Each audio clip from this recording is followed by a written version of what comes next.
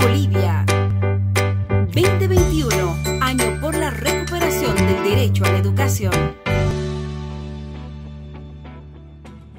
Bienvenidos estudiantes de sexto de secundaria a la clase de matemática con su maestra Jimena Argote y comenzamos esta temporada con teoría de conjuntos. El tema de hoy es notación de conjuntos numéricos. Comencemos.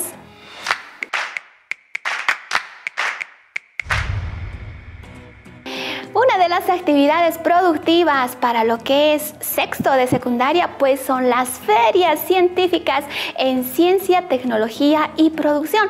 Y los proyectos mostrados por los estudiantes es muy interesante respecto a la robótica y lo que es la agricultura.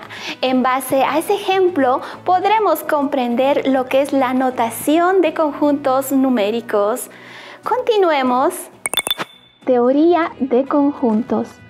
Notación de conjuntos numéricos.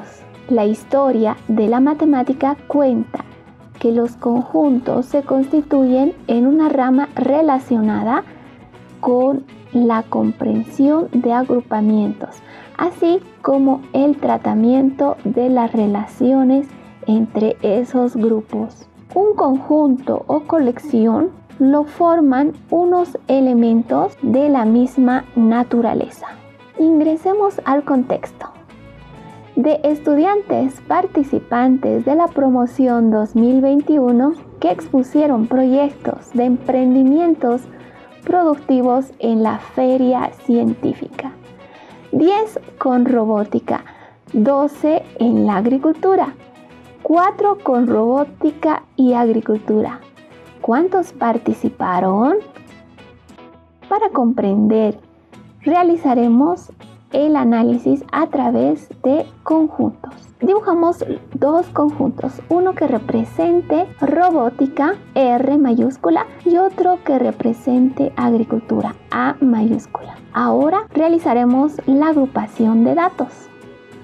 Dice que 10 proyectos fueron presentados con la temática de robótica colocamos 10 al lado del conjunto R y 12 con la temática de agricultura.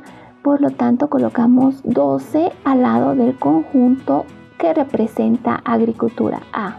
4 con robótica y agricultura. Eso significa que existirá un común entre lo que es robótica y agricultura. Es decir, que hubieron cuatro proyectos que tienen las dos temáticas, tanto de robótica como agricultura. Por lo tanto, irá entre los dos conjuntos. En el centro colocamos 4. Ahora, para saber exactamente cuántos proyectos se presentaron solamente de robótica, realizaremos la resta entre los proyectos de robótica menos los proyectos en común, que serían 4. Por lo tanto, solamente los proyectos en robótica sería igual a 6. Ahora, para saber exactamente los proyectos que se presentaron de agricultura, realizamos el mismo procedimiento de la información de proyectos en agricultura, que son 12, le restamos la cantidad de proyectos en común entre robótica y agricultura, que sería 4. 12 menos 4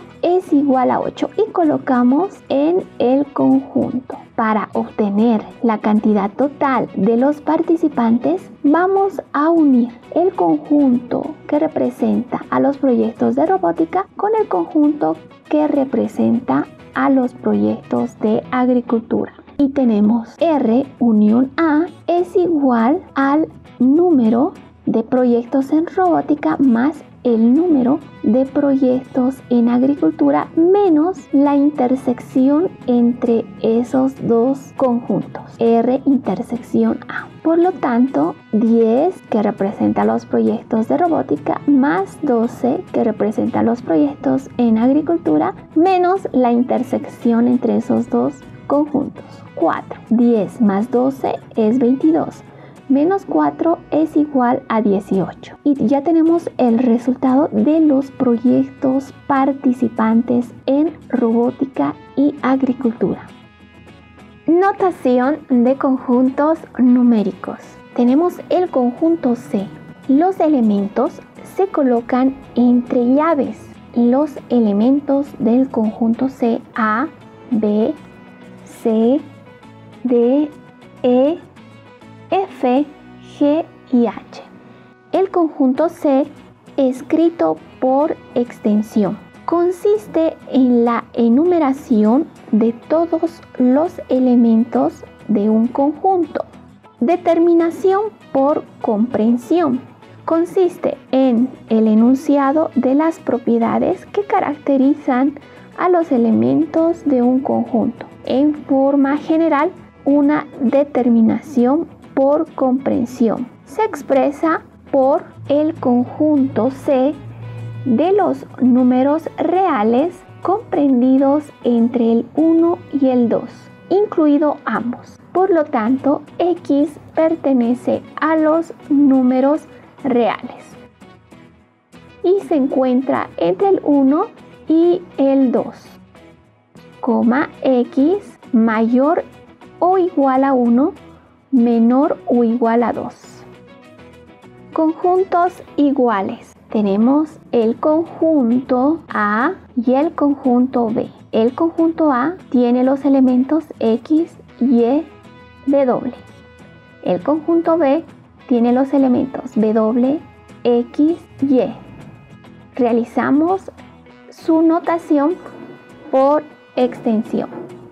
Tenemos el conjunto A con los elementos X, Y, W el conjunto B con los elementos X, Y, W. Por lo tanto, el conjunto A es igual al conjunto B,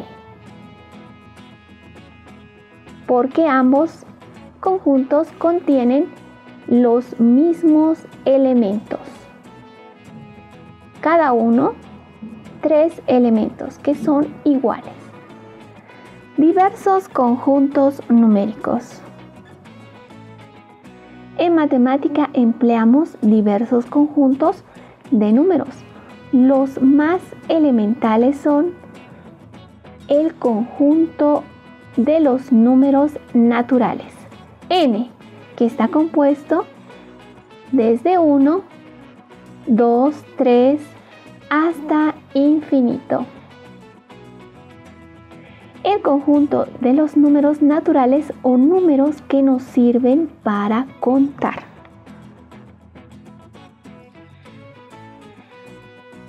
Tenemos el conjunto de los números enteros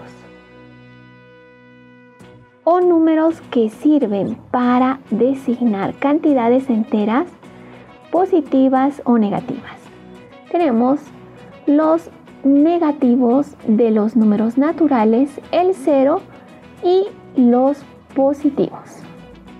Desde menos infinito hasta infinito. Incluimos el cero. Tenemos el conjunto de los números racionales o números que pueden ser expresados como un cociente fracción p dividido entre Q. Están las fracciones negativas y las fracciones positivas, desde menos infinito hasta infinito. Tenemos el conjunto de los números reales, el conjunto R, formado por la unión de los números racionales y de todos los números irracionales, este conjunto suele denominarse recta real, pues los puntos de una recta pueden ponerse en correspondencia con los infinitos números de R, números reales. Si X es un elemento del conjunto A, la notación correspondiente es el elemento X el signo de pertenece, que es como una E. Y el conjunto A significa que el elemento X pertenece al conjunto A. Si Z no es un elemento del conjunto A, la notación correspondiente es Z, el signo de pertenece con una barra encima inclinada. Significa el símbolo de no pertenece.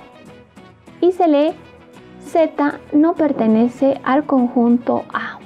Un conjunto se escribe de la siguiente manera. A es igual el signo de agrupación de llaves.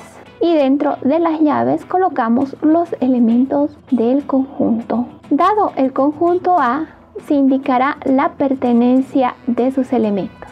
Tenemos el conjunto A. Sus elementos son el 1, el 2 y el 5. Tiene tres elementos. El conjunto A posee tres elementos. El elemento 1 pertenece al conjunto A. El elemento 2 pertenece al conjunto A. El elemento 5 pertenece al conjunto A. Los números 1, 2, 5 pertenecen al conjunto A. El elemento 0 no pertenece al conjunto A. El elemento 3 no pertenece al conjunto A.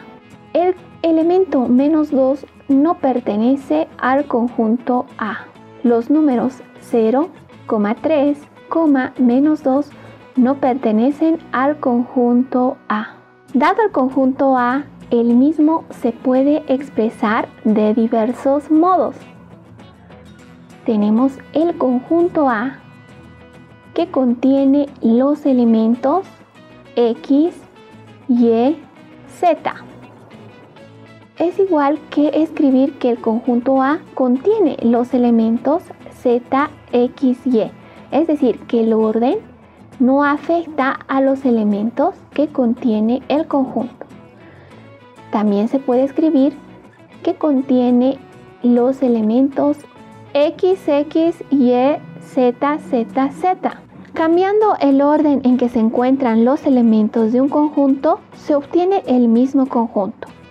La reiteración en la notación de un mismo elemento no afecta al conjunto que continúa siendo el mismo.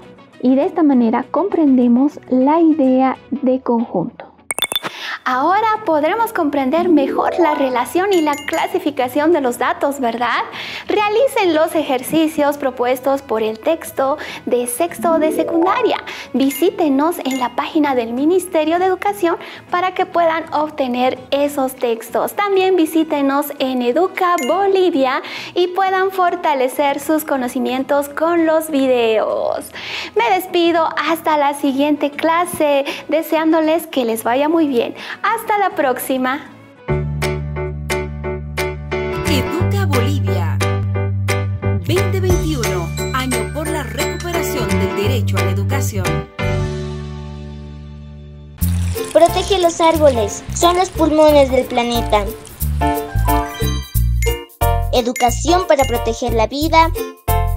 Cuidemos el medio ambiente.